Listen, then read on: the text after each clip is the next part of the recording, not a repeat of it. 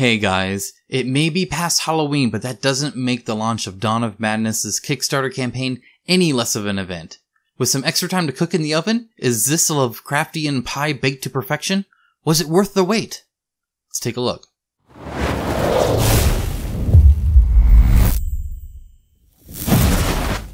As always, we're going straight to the game details.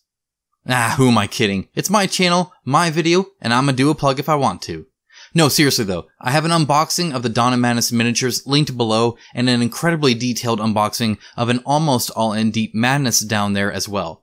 I'll be reviewing Dawn of Madness here shortly, so if you want to ensure you see that, be sure to subscribe to the channel with notifications so YouTube is actually helpful and shows you the video. Okay, seriously now, game details time. Fun fact that I want you to keep in mind as I discuss the game is that every miniature in Dawn of Madness is a unique sculpt. And I don't mean unique as in it's the same thing but posed differently. Every single miniature is unique. Dawn of Madness is a prequel to the hit Deep Madness and takes place many years before it. As a group of one to four players, you will cooperatively work through one of four unique stories about one of your characters. These stories contain their own story, tokens, cards, and enemies. Each one also has four different endings, which one you will get depends on several factors during your playthrough, such as the choices you make during the game and in what order you make them. Everyone plays as wanderers, and each story focuses on diving deep into the psyche of a single wanderer.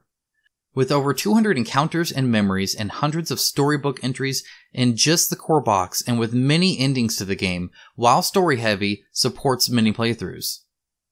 Like Nemesis and Resident Evil 3, the game has four unique abominations that torment the players throughout the course of the campaign. You cannot attack them directly, but instead must fight them via malformations and resistance cards. Speaking of malformations, these are the dark, twisted versions of your character. In general, they should be avoided, but they are also the only way to fight the abominations. Good luck. Each Wanderer will have sentience tokens that they gain from sentience dice and some domain cards that interact with these in different ways. Additionally, each Wanderer has a unique inner offering that is a personal ability of theirs to help in certain situations. Turn order and how much you can do is defined by your mental capacity. The player with the highest capacity plays first, and so on, until everyone runs out so no more actions can be taken, ending the round. Customizing a wanderer to your personal story comes naturally as you make choices. Choices can provide memory cards, coda cards, plot tokens, and even new encounters. These define your own wanderer throughout the entire campaign. There are nine conditions in the core game that can affect you in various ways. Most are bad, but some are good, and each one is removed in a different way. And with that, we're on to the campaign specifics. This is a full length campaign on Kickstarter, which is nice. With Byron free to share his twisted stories, I'm sure there will be a plethora of cool updates full of lore and mechanics. Shipping will be done in two waves, and shipping will cost what it costs. Knowing how these games expand, the more you add, the higher the shipping cost will be, of course. That first wave will include the core box, miniature box, and all core level stretch goals, and the miniature specific otherworld stretch goals that accompany them. It is estimated to deliver October 2021, with the second wave set for June 2022. Why is that so far out?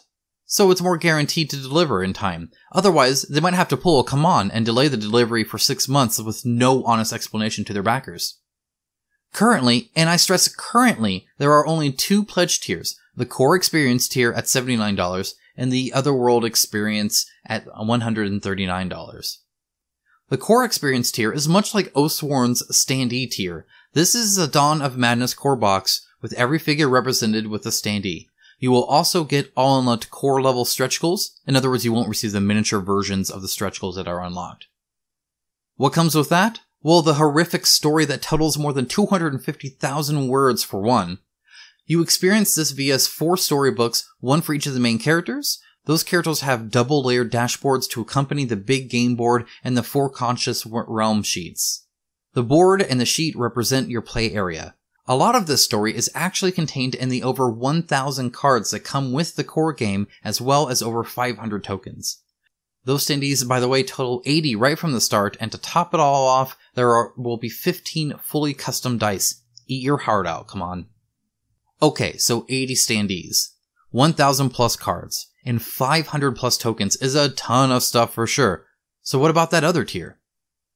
Well, the Otherworld experience is again much like Oathsworn, just the same game, but with an added miniatures box as well as receiving both the core level and Otherworld level stretch goals. What this means is that any story cards and whatnot you'll still get from the core level stretch goals, but you'll also nab some really cool miniatures via stretch goals as well. That miniatures box, by the way, has 40 unique sculpt miniatures, with many of them being quite large. Additionally, and this is really important here, if you back at this level right now, the day I launch this video, which means the first 24 hours, you'll get the Watchers expansion box for free. After 24 hours, this will be available as an optional buy.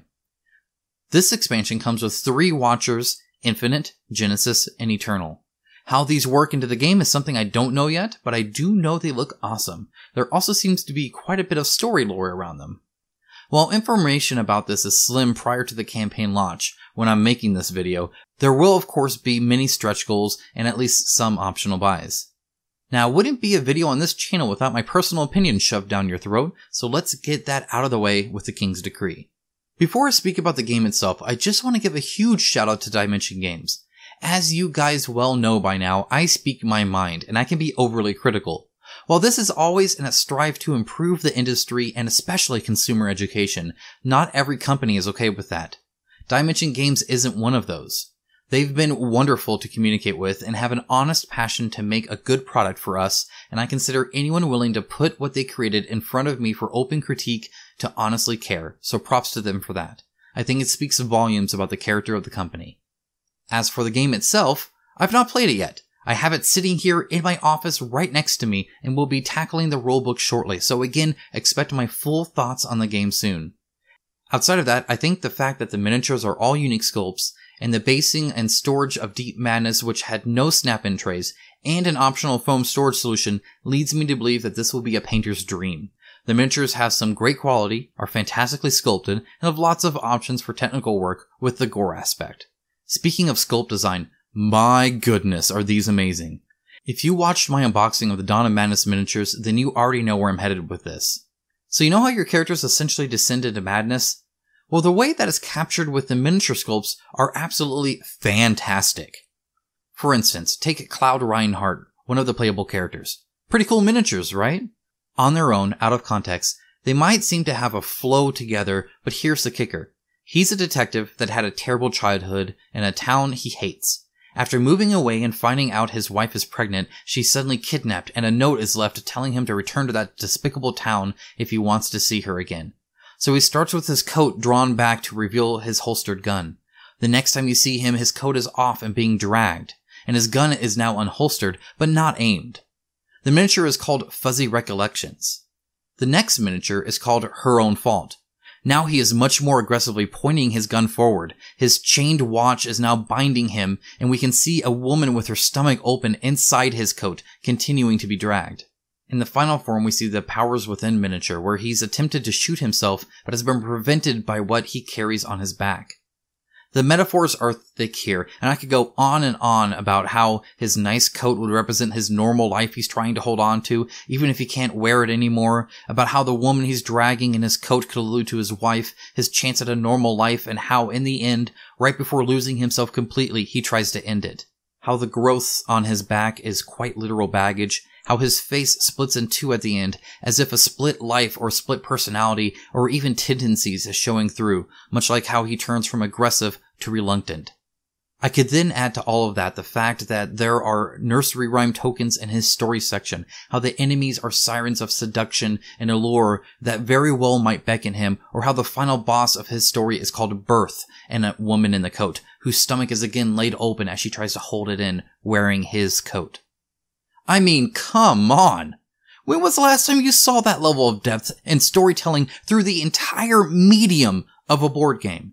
It's not just a story you read, it's in the tokens, it's in the map, it's in the car tiles, and it's in the miniatures themselves.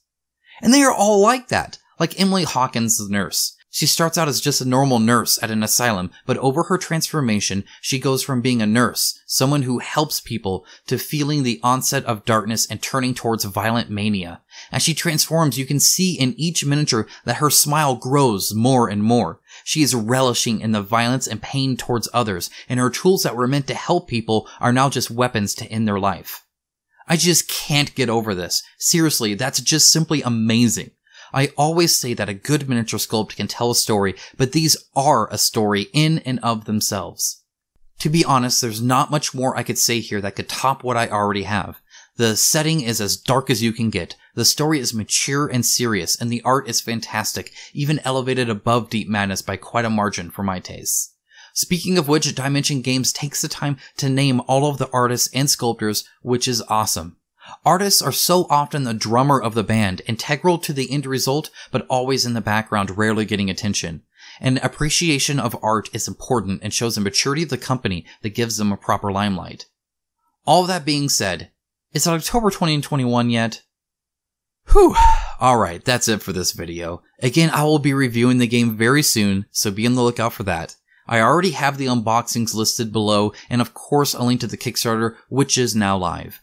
Don't forget to keep that 24 hour free expansion in mind, and if you're watching this a day or two late, consider subscribing and optioning into notifications so that I can help you out in future videos in this series with my day one details videos. If I've helped you in the past and you have the desire and ability to help support this sort of honest game coverage aimed not for the companies, but for us, the consumers and our benefit, then consider checking out my Patreon linked below.